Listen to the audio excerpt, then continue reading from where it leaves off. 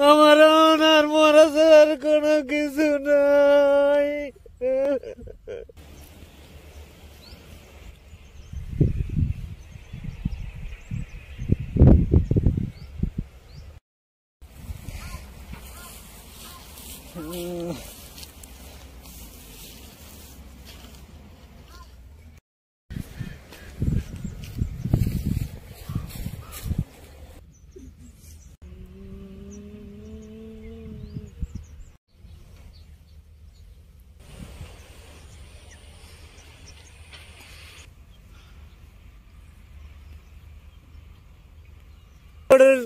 মনির স্যারের আমি আত্মা ধরছি, স্যার, আমার নামে মামলা দেন, আমার এই গাছ উঠাইয়েন না।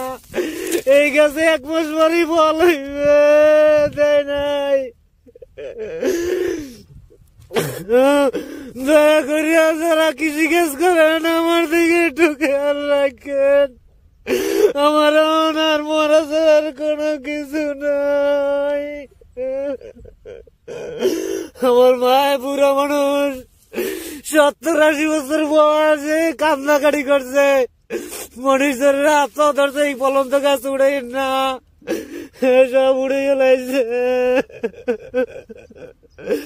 আমাকে আর কি করার আছে? কি করব আর? আমার সব শেষ।